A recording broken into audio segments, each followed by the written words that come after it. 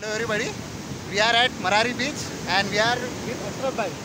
So firstly, thanks to Ashraf Bhai.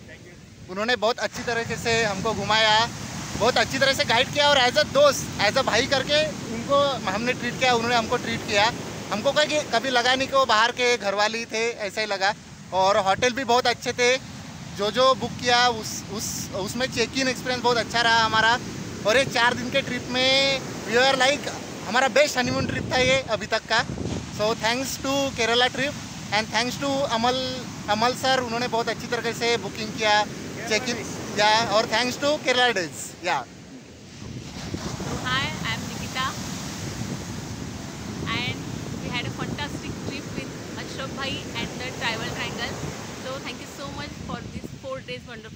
Thank you. Thank you. Thank you.